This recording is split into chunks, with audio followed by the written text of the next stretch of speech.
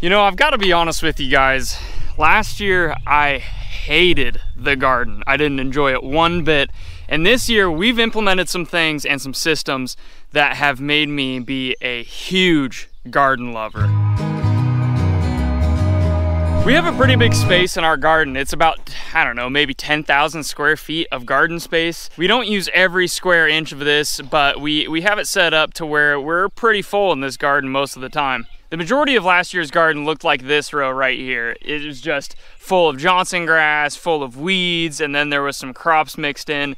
We didn't do a very good job of maintaining the weeds because it is so incredibly hard to keep up with in the state of Kentucky. At a minimum, every few days you're out here and you have to weed, but when you have a 10,000 square foot garden, that's extremely hard to keep up with. And last year we did a terrible job with it, which resulted in me honestly really not enjoying gardening at all. This line right here is actually a failed potato crop. Uh, I don't know if we got too much rain and they rotted in the ground or what, but that one failed. So we went ahead and planted another one and that one's doing great. For this year's garden, we decided to make some improvements. We decided to invest some money into our, our garden.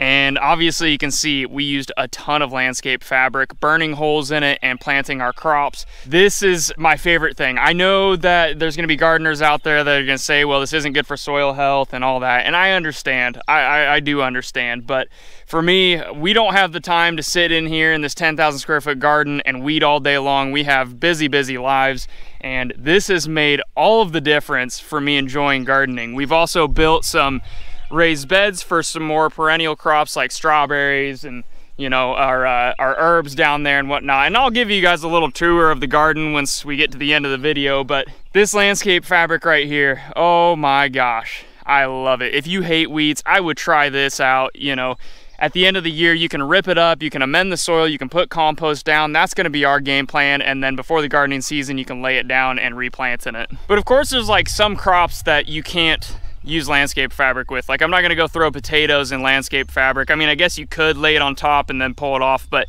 with this system, it's all kind of permanent until the end of the year.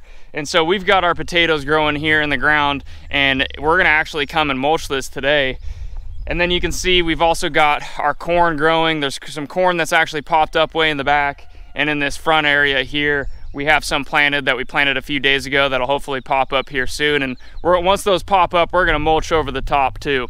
And then between these, we have some options. We can do beans. We're gonna do a little bit of a Three Sisters, but probably not have the beans actually go up the corn. We're probably more just going to use like squash and, and pumpkin, that kind of thing, so it'll shade out and, and kind of mulch underneath the corn a little bit. So that's the game plan this year. And these are the systems that we're implementing that are making me love the garden. You can ask Ashlyn, I've been addicted to this garden. I think I come out here like at least three times a day if I have the time and check on the plants and see how everything's doing because it's just been so enjoyable walking through here and just being able to walk next to the crops. And there's nothing I love more than seeing this last row because on this last row, you can see every single crop and I love that. Last year it was like a jungle, it was a mess. You couldn't make out what was a crop and what was a weed. And this year it looks really nice. When you first start a homestead, it's really easy to just throw yourself at it, and I honestly think that's the best thing to do. It's gonna be a little overwhelming, you're not gonna have systems in place, but once you get used to it and year after year you create better systems like this, we've created a better system for our garden this year and so many other things on our homestead, once you start to do that, you tend to work with the homestead instead of having to work for the homestead. That's a big difference when you have a homestead. And when we started, I was definitely working for the homestead. It was kicking my butt.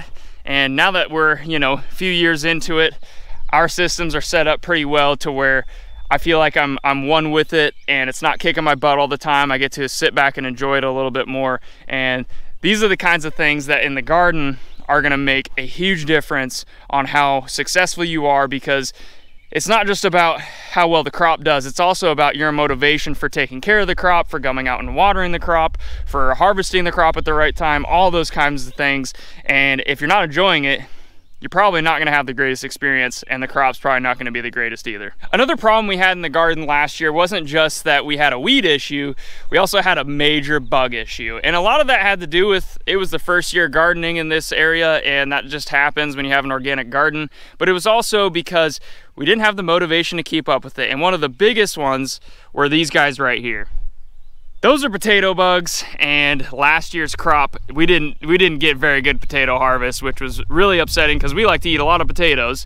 This year because i'm out here three times a day we're taking care of it a lot better. And there's a few things that we've done this year and are going to do this year that are going to help our pest control and uh, hopefully result in a better crop. There is a little potato bug sitting on that potato plant right now and last year, they infiltrated us so quickly. We didn't have the education we have this year, and we also didn't have the systems in place to actually take care of this a little bit better. And so there's a lot of things this year that we're doing. And the biggest one for the potato bug is that I'm coming over and I'm snatching that guy off and I'm gonna put him and make him drown in a thing of water. I know that sounds terrible, but these guys are awful and they will swarm your potato plants, your tomato plants, uh, I believe I've even seen them on our pepper plants, and I'm sure there's other things they go after as well. But the potato plants and the tomatoes seem to be the thing they like the most. Aside from walking the potatoes at least once or twice a day and taking off those little potato bugs, the adult ones, the other thing you're looking for is the little eggs that sit underneath the leaves. And when you find those, you want to put your thumb into them and squish them and kill those eggs because there's a lot of potato bugs. Those potato bugs will actually breed, I think it's like up to three times a year, and that is a lot of potato bugs. So if you start early and you get out here, and you start to take the adults off and you start to squish the young ones, you're gonna have a much better potato harvest. You're not gonna be attacked by potato bugs nearly as bad. Let me show you what those eggs look like. So here's a little potato plant and when I'm checking for these, I usually will open one side and these eggs are really bright so it's obvious to tell.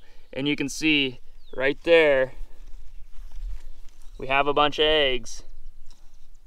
And then I just come in and it's kind of gross but you squish them and you kill them and you get rid of them. And that's something we didn't do a very good job of last year. Hopefully those systems are gonna be a lot better for us and we'll have a much better harvest. We're also gonna come in and mulch this potato bed because we're hopefully gonna attract some, I don't know, bugs that might eat those eggs or something, I don't know. But mulch is a good thing. Last year we didn't realize that, but this year mulch is a very good thing for us and we're gonna go ahead and do that today. So we've mulched our potatoes and we've inspected for potato bugs and we're looking good. But we still have one more pest that attacks these potatoes and that is aphids. And for aphids, we're gonna use something a little different to fight those. This right here is diatomaceous earth, which I believe is like a rock that they grind down and turn it into a fine powder. But this stuff does really good to soft-backed insects. Uh, so aphids, it'll take care of aphids really well. And we're gonna go ahead and take this and we're gonna sprinkle this all the way down the run of potatoes. And like our tomatoes gets eaten by aphids and there's aphids will attack quite a bit of stuff in the garden. So uh, this will help to, to, battle that and it is a natural uh, occurring product. So, you know, if you have an organic garden, it does work with that. So uh, that's the only thing we gotta do with these potatoes. Let's get to it. It'll be pretty obvious when you have an aphid issue because you'll have little tiny mini holes in all of the leaves of your plants and you also have these little flea looking things. Those are the aphids. We get this diatomaceous earth from our local feed mill in like a 40 pound bag of it for 35 bucks or something. It's super cheap. That's the cheapest way i've found to do it but uh, they do have it at tractor supply in smaller bags. It's a little more expensive uh, you can find it on Amazon as well, so I'll leave a link to our Amazon storefront so you can see that. And uh, if you want to get there, you can check that out. So I'm over here by my cabbage, I'm over here by my broccoli and my cauliflower. And the reason for that is because this is the next issue we need to fix. Last year we had a, a, pretty good harvest, not so much on the cabbage because the cabbage worms attacked that like crazy, but the broccoli and the cauliflower we did get uh, broccoli and cauliflower. There was just tons of little tiny cabbage worms in there and it was kind of gross. You know, you have to take the time to get them out of there and, you, and then you can eat it. But this year, we are taking action. We're putting systems in place and we are actually going to be getting some help from our friends at Bootstrap Farmer. They have sent us a low tunnel with an insect netting. You can also put greenhouse plastic over it. You can put a shade cloth, that sort of thing. So we are going to actually cover these guys with insect netting and we're going to put a low tunnel and uh, yeah, let's get to it. Let's start building it.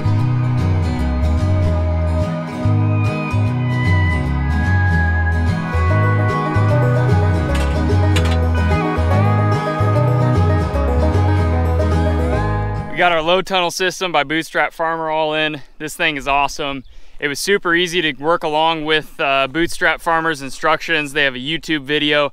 I wasn't gonna show you how to do this because honestly, they have a YouTube video that does it way better. So if you wanna see how to build a low tunnel like this, there's a link in the description with an instructional video on how Bootstrap Farmer does it using their kits. You can have shade cloth, you can have greenhouse plastic, or you can have an insect net like we have here because we're trying to protect our broccoli, our cauliflower, and our cabbage from those cabbage worms. So if you wanna pick up Bootstrap Farmer low tunnel kits, great price, great products. They did amazing. They have all these little clips on there that come with the kit just like this and that'll hold the net on there and they have the netting and the and the shade cloth all that good stuff on their website. So if you want to pick up any of these products or any seed starting products i'll leave a link down in the description below to bootstrapfarmer.com you know last year i thought that i didn't need these systems in place. I thought i could till the ground throw some seed in the ground and we would have a wonderful harvest but that just isn't the case. So if you're starting a homestead, don't make the mistake that I made where I thought that I didn't need to invest any money in the garden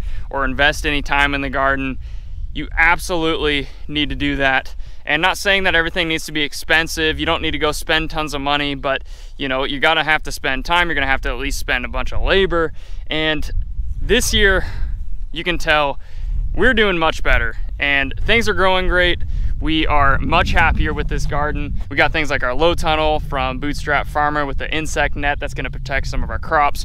We have other things like our landscape fabric, which is keeping the weeds down between our crops. And come on, I mean, it just looks so much nicer when you see a long row of, of green green beans or whatever right there. So, and then we've got things like our mulch over here and our potatoes. We're working on diatomaceous earth. You know, we're, we're putting these systems in place getting better at gardening so that way the next year we're even better than this year. And I'm sure we're gonna have a much better harvest this year as far as potatoes and tomatoes and broccoli and cauliflower all those kinds of things that last year we didn't do too good with. So at the end of the day you don't need a ton of money to start a homestead. You don't need a ton of money to start a garden but what you do need is time. And you know if you're gonna build some raised beds like we have raised beds over here those cost some money if you want to do landscape fabric, that costs money. If you want to buy straw, that costs money. I mean, aside from all of the seeds and, and all that and the water and everything, you know, nothing is free in this world and it's important to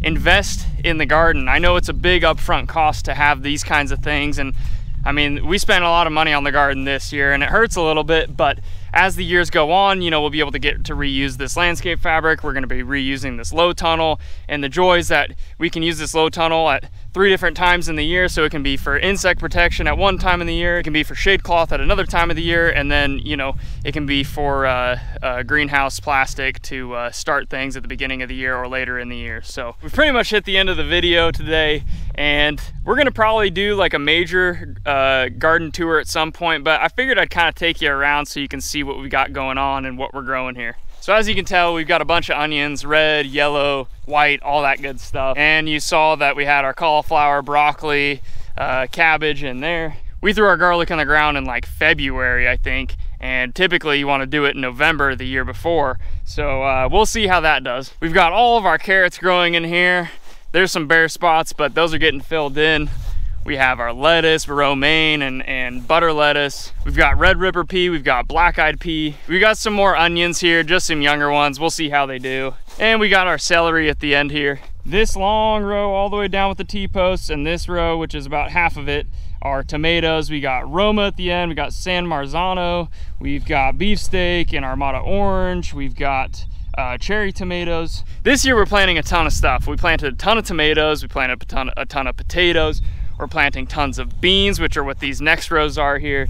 And the reason for that is because if we have a bad harvest, at least we can make up for it in how many plants we had. Hopefully we have enough. This row right here, this is actually Ashlyn's flowers and she is growing those for our wedding. So that'll be pretty cool. There's like marigolds and I think zinnia, I don't know. I don't know all the names, but they're, they're pretty cool. And of course we got watermelons and, and cantaloupe and then we got a big line of cucumber and there's a bunch of space between all this because all those cucumbers and watermelons are gonna vine out and, and make a mess. So we made sure to leave space between them so it's not too hard to walk in between. And obviously you saw earlier in the video, we have all of our potatoes. We got red and Yukon Gold. And then right here where this other mulch is, that's a bunch of corn, two different kinds of sweet corn, and then we got a third kind of sweet corn in that in that brown area right there, uh, all the way down to the end, and that's gonna be the majority of our corn for this year. We've even got some peanuts growing in this bed. This I'm so excited for. They're, I think it's like a, a Tennessee Red Valencia, I think is what it's called. So it uh, doesn't have as long of a growing season, so you can actually grow them in Kentucky, which is awesome. So those are actually starting to pop up a little bit, little tiny seedlings popping up. So hopefully those do well. But later in the summer, we're gonna give a big update video once our crops are big and you know, you can kind of see how everything's growing. We've got some mint going in this, in this uh, raised bed with some protective layer on the bottom so it doesn't spread out into the rest of the garden. And then over here, we've got all of our herbs. We got some dill, which is an annual, but then we have sage, which is perennial we got rosemary perennial and then we got english thyme which is perennial as well. So we got some fun stuff going on here in the garden and then we have one more thing of course. We got our strawberries in this bed and we're starting to get some pretty good sized strawberries in there. Nothing ripe yet but they uh, i'm sure we're going to be eating them here soon. The motivation for this year's garden is night and day compared to last year. Last year i didn't even want to come out here and this year i'm out here like three times a day like i said. But all of these systems are what are giving me motivation. You know, I don't have to weed very much, very little at all. You know, I come and mow the strips here and things like these insect nettings by Bootstrap Farmer and these low tunnels. Uh, of course, like I said, click a link in the description for their products. And then major thing is that we're mulching. These are the kinds of systems that are really making me enjoy the garden this year. And if you know, if you got some ideas from this, I'm glad. If you have some other ideas on, on ways to make gardening easier for us and more enjoyable, go ahead and, and leave a comment down below. That would be awesome. And if you enjoy these kinds of videos and you want to see more videos like this, you can hit that subscribe button. There's a bell notification that you can be notified of every upload. And, you know, we have some links down there to our Instagram and our Facebook and Amazon storefront, things like that. So if you if you get bored and you want to check those out, you can go ahead and click those links. Uh, well, thank you guys so much for watching. I hope you enjoyed the video.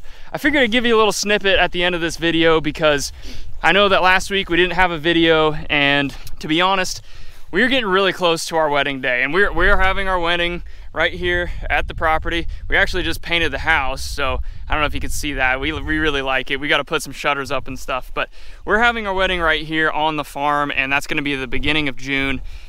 And we got family coming in 1st of June, so we'll see if this this may be the last video until we get, you know, done with our wedding and everything, but we'll see. We'll see. I might get another one out before that, but I wanted to give you guys a heads up that we're insanely busy and we also just bought a rental property as well um, in in the town next to us. So we are ridiculously busy with our life here uh, our wedding and also our brand new rental in the town over from us. So uh, if you don't get a video, that's probably why. It's not because we don't want to make videos, it's because we just, we don't have the time. So, well, I hope you guys enjoyed it. Thank you so much for watching and we'll see you in the next one.